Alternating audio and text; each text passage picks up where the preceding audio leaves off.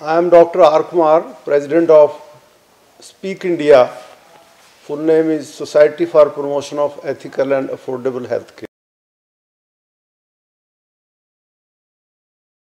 Press conference has been called to uh, ask for essays. तो हम school के college के यूनिवर्सिटीज़ के बच्चों के लिए ऐसे कंपटीशन करवा रहे हैं जो हेल्थ टॉपिक पे लिखे गए होंगे और उसका उद्देश्य है आयुष्मान भारत योजना को प्रोत्साहित करना और लोगों को जानकारी देना। इसके दो हिस्से हैं। एक के जो बीमार पड़े हैं और लाचार हैं फाइनेंशियली इकोनॉमिकली वीक हैं उनके लिए आ, सरकार पाँच लाख रुपए तक का बीमा बिना किसी चार्जेस के देती है।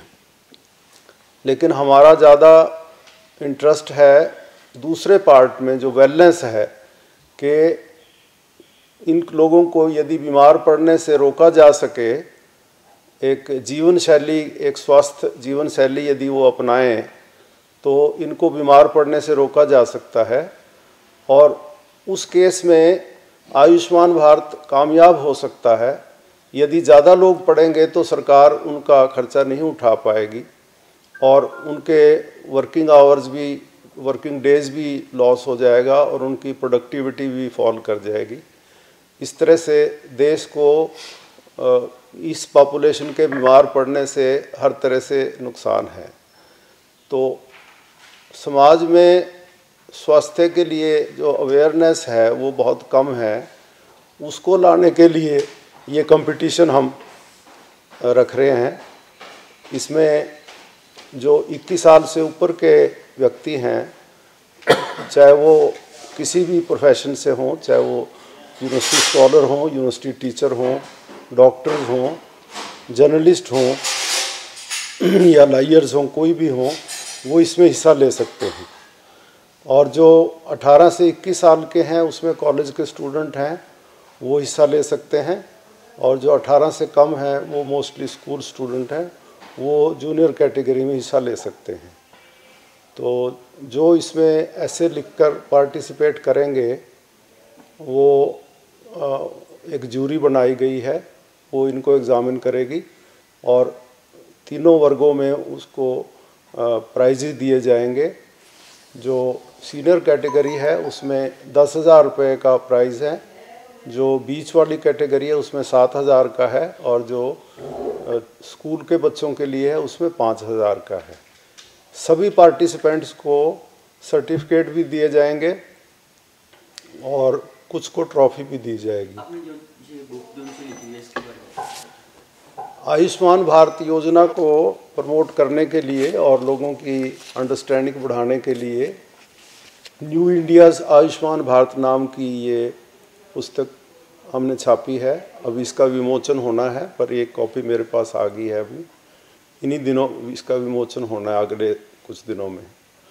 तो इसमें भी हमने ज़्यादा जो एम्फेसिस दिया है, वो वेलनेस पे दिया है कि डॉक्टर को या हॉस्पिटल को इसलिए पे किया जाए कि बीमार पड़े हैं। तो एक ये बीमार पड़ने का रिवार्ड उनको मिल रहा है। तो कुछ कंट्रीज़ में जिसमें क्यूबा है चाइना है, कि जो डॉक्टर या हेल्थ वर्कर पॉपुलेशन को हेल्दी रखता है, उस बात के लिए उसको पे किया जाता है। जिसके एरिया में ज़्यादा बीमार पड़ते हैं, उसकी सैलरी बंद कर दी जाती है। तो the reward should be for keeping the population healthy and not for allowing it to fall sick तो आयुष्मान भारत की जो सफलता है, वो भी इसी बात पर निर्भर है कि ये पॉपुलेशन को हेल्दी रखा जाए। यदि इसी ढंग से लोग बीमार पड़ते रहे जैसे कि अब पड़ते हैं तो आयुष्मान भारत ये खर्चा नहीं उठा पाएगी। तो इसलिए आयुष्मान भारत का और वेलनेस का एक बहुत गहरा रिश्ता है। डॉक्टर कुमार इसमें क्या दिखाया है? इस बुक में क्या लिखा है इस बुक में एक तो आयुष्मान की जो अवेयरनेस है कि आयुष्मान भारत के अंडर क्या क्या फैसिलिटीज़ हैं, कौन अवेल कर सकता है, ये बातें हैं। मेनली वेलनेस के बारे में हैं और कुछ अपेंडिसिस वगैरह ये दिए हैं कि अननेसरी टेस्ट ना कराए जाएँ और कम से कम दवाई से इलाज किया जाए। बहुत सारी ऐसी कंडीशंस हैं कि उनमें दवाई की ज़रूरत नहीं है, पर दवाई का मिसयूज़ बहुत हो रहा है।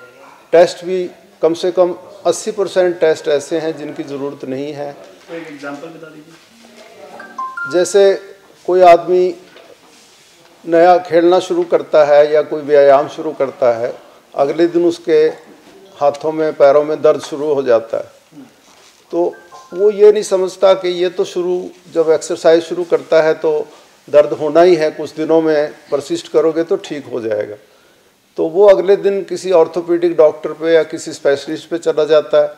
वहाँ उसके एक्सरे और एमआरआई होने शुरू हो जाते हैं। दवाइयाँ शुरू हो जाती हैं साथ ही दवाइयों के बैड इफ़ेक्ट शुरू हो जाते हैं। पेन किलर लेगा तो उसके एसिडिटी शुरू हो जाएगी तो वो हार्ट अटैक का इलाज शुरू हो जाएगा। तो, तो एक वो गलत रास्ते चल पड़ता है। सर आयुष्मान भारत के अपने बुक जो लिखी है। आपने कितने लोगों को जागृत भी किया है कि कैसे वो फैसिलिटी अवेल करा सकते हैं?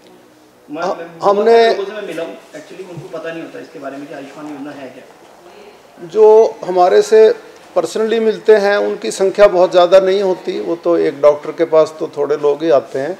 लेकिन हमने इसके लिए अभी एक सेमिनार किया था पंजाब यूनिवर्सिटी के साथ मिलके अठारह जनवरी को। तो उसमें काफ़ी यूनिवर्सिटी के भी और बाहर के लोग भी आए थे। और इस तरह से हम अवेयरनेस डिफरेंट फोरम पे कर रहे हैं रोटरी क्लब के साथ मिलके लॉयंस क्लब के साथ मिलके, स्कूलों, कॉलेजों के साथ मिलके तो जो जो लोग गरीब तबके से आते हैं, उनके बच्चे गवर्नमेंट स्कूल्स में पढ़ते हैं। तो आपको लगता है कि गवर्नमेंट स्कूल्स में अवेयरनेस टीचर्स को भी देनी चाहिए कि आयुष्मान योजना भी शुरू हो चुकी है? ये बहुत अच्छा सवाल है। ये हमारी प्रपोजल है। इनफैक्ट हम अभी एक वर्कशॉप हमने गवर्नमेंट स्कूल सेक्टर 18 में की थी, जिसमें अबाउट 200 टीचर बुलाए थे और उनको ये, इसके बारे में अवेयरनेस दी गई। अभी एक हम अम्बाला में प्लान कर रहे हैं नियर फ्यूचर में। तो उसमें भी हम टीचर्स को ही कर रहे हैं कि, क्योंकि टीचर से स्टूडेंट को, उसको बताना बहुत आसान है।